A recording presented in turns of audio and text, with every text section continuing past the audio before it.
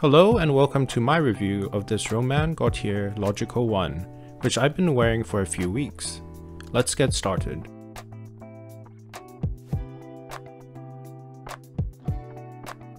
Romain Gauthier is a brand seldomly brought up amongst collectors in Singapore, even relative to its independent peers.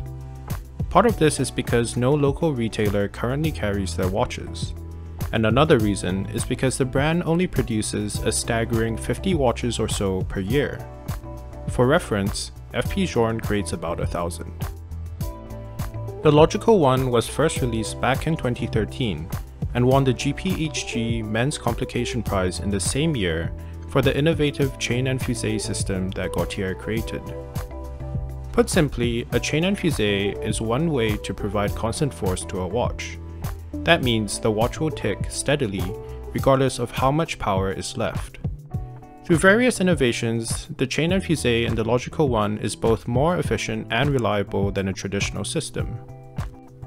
So how is the logical 1 to wear? Let's start off with the looks. One thing I really enjoy about the aesthetics of the logical 1 is that you can clearly see how the watch works. There's a very open view of everything from how the chain and fusee system works, to even how the gears turn when you set the time with the crown. And yet, even though there are so many visible components, the well thought out design is still very clean. I also appreciate the fact that this watch has immense depth and a sense of airiness. In a world where watch brands are increasingly obsessed with creating thin watches, the Logical 1 unashamedly shows off layers of amazingly finished components that make the watch a joy to admire from different angles. As far as finishing is concerned, this Logical 1 is the best watch I've ever seen next to the Kari Voutilainen I reviewed last year. It's a bit hard to compare the two watches of course. The Kari is focused largely around the shade dial while the Logical 1 has a bit of everything. Yet, what is important is that almost everything here is done up to perfection. My favorite elements include the enamel dial with incredible sharp blue hands and numerals.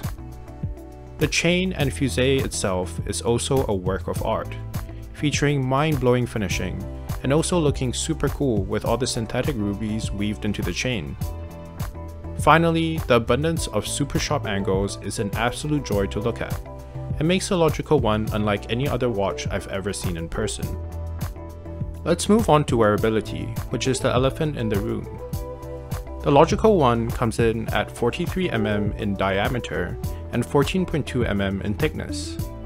A set of relatively long lugs puts the lug to lug of this watch at just over 50mm, meaning that on my 17.5 cm wrist, the watch is borderline. Yet, I still do enjoy wearing the watch. Paired with the titanium case, this logical 1 has quite a nice, sporty and chunky feel. It's also worth highlighting that the Logical 1 wasn't designed to be an ultra-thin watch that you wear every single day. Instead, it's a piece of mechanical art that revolves around some awesome innovations of one of the rarest and most historied systems in watchmaking. That isn't to say Romain Gauthier doesn't make watches that can be frequently worn. Both the Continuum and Insight Micro Rotor are watches that not only come in a much smaller and thinner package, but are also available on a rubber strap. Overall, the Romain Gauthier Logical 1 is one of the rarest, most beautiful, and most well finished watches I've ever experienced. While the wearability is not the best, I think it's fine as the Logical 1 is more mechanical art than Daily Beater. If you're interested in the brand, I highly recommend directly reaching out to the team on Instagram the people working for the brand are some of the friendliest in the industry. Thank you for taking the time to watch this video. If you enjoyed it, please consider leaving a like and subscribing, as there are plenty more reviews coming. Thank you.